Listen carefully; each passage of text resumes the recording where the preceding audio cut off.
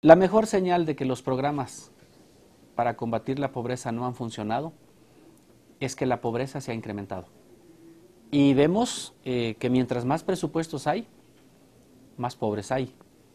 Y entonces eh, el problema está en que han sido orientados fundamentalmente con un enfoque asistencial. En algunos casos, no le exagero cuando digo que a veces como que anduviera uno dando caridad. Y la gente no necesita caridad, la gente necesita apoyos. La gente requiere desarrollar sus capacidades, requiere de equipo, requiere de infraestructura para poder producir parte de lo que necesita, satisfacer sus necesidades de alimentación y solo en ese momento poder generar excedentes que le permitan obtener ingresos. Nos hemos equivocado cuando decimos que a los pobres hay que darles proyectos productivos. Y entonces, como no han resuelto el problema alimentario, se comen el proyecto productivo. Y eso es una cosa que ha pasado a lo largo de muchos años. El que no ha resuelto su problema de alimentación difícilmente puede pensar en un, proyecto mayor. Entonces, a los más pobres, ayudémoslos, ayudémosles a que resuelvan su problema alimentario generalmente, eh, principalmente, realizado por ellos mismos, y solo, solo en ese momento ellos empezarán a salir con pequeños excedentes a participar en el mercado, porque los más pobres solo participan en el mercado comprando, no están vendiendo nada, y mientras no vendan nada, difícilmente van a poder tener ingresos. Esa es la transformación que se tiene que hacer desde la educación, desde las leyes, desde los presupuestos y también desde el, desde el propio enfoque del funcionario, del servidor público. Saber que para verdaderamente poder ayudar a las personas hay que preguntarles cómo se les ayuda y no seguir con el esquema donde se planea y se decide desde arriba. Hay que planear de abajo, hay que planear, hay que planear desde abajo y decidir, decidir arriba planear desde abajo y decidir arriba. Esa es la mejor fórmula. Planear arriba y decidir arriba nos ha llevado al fracaso. ¿Hay una propuesta propia sobre este, eh, esta forma de ayudar al campo, de esta forma de ayudar a la pobreza?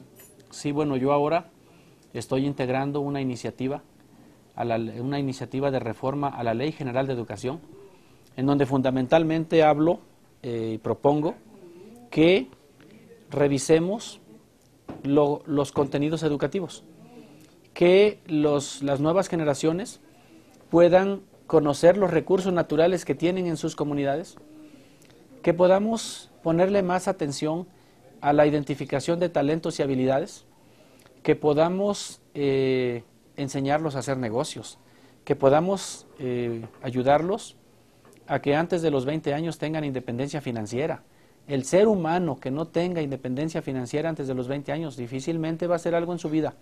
Eso es lo que, nosotros hemos visto y vivido. Eh, inglés, una lengua extranjera y computación como una herramienta de trabajo. Estas son las cinco modificaciones que consideramos hay que revisar en el, contenido del sistema educativo nacional. Eh, hay que definir una función productiva a las parcelas escolares que, deban enseñar precisamente a producir lo que las familias necesitan, que tengan que ser centros de transferencia de conocimientos. Y eh, otro eh, aspecto eh, en relación con, con la educación tiene que ver con la formación de un paquete básico de profesionistas en cada comunidad. Hoy la gente como yo estudian lo que consideran que deben estudiar, a veces lo que pueden, a veces las oportunidades que tienen. Pero no hay una orientación vocacional que nos diga, Ernesto, Alberto, Juan, qué deben estudiar o qué técnicos son los que necesitamos. Y por un lado, pues vemos que Pemex se queja de que le faltan 3.500 geólogos para poder aprovechar los recursos petroleros. Pero en el campo eh, vemos que más de 10.000 agrónomos están desempleados o subempleados, trabajando en otras cosas, porque no se les mostró, porque no les mostramos que es lo que donde hacía falta la formación de recurso humano. Si un pueblo no tiene su profesor, su médico, su abogado, su arquitecto, su agrónomo, su veterinario, su, eh, su primer eh, arquitecto, entonces va a depender de profesionistas que van de fuera y el desarrollo de los pueblos se va a rezagar. Entonces, son parte de, las, de los aspectos que estamos hoy eh, considerando en la iniciativa de la Ley General de Educación. Y en lo que corresponde a desarrollo social, a la Ley de Desarrollo Social, nos parece que todo lo que hace, todo lo que hace, está en cierta, en cierta forma bien. Pero hay una parte que está faltando, la autoproducción alimentaria, la identificación de actividades productivas que las familias puedan hacer en sus lugares de origen.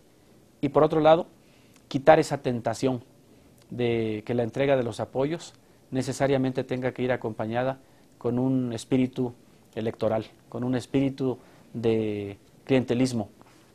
Necesitamos pensar más en el desarrollo de la gente.